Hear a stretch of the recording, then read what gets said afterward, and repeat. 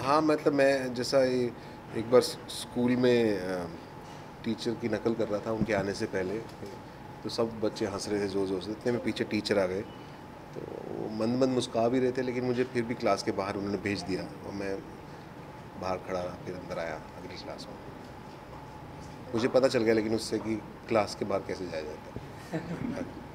Thank you sir इसके अलावा sir finally sir इसके अलावा सब- कॉमिक के लिए आप नॉर्मली जाने जाते हैं हाँ। हमेशा के लिए कॉमिक के लिए। कपिल शर्मा का न्यू शो आ रहा है देखा जाए तो सर फैमिली टाइप तो उसमें क्या आप दिख सकते हैं? वापस हाँ? आप दिखेंगे? देखते आप- चलिए मैं मिलते हैं मुलाकात करते हैं। मैं इस इस शो का अभी अ, हिस्सा नहीं हूँ। But yeah thank you thank you Thank you.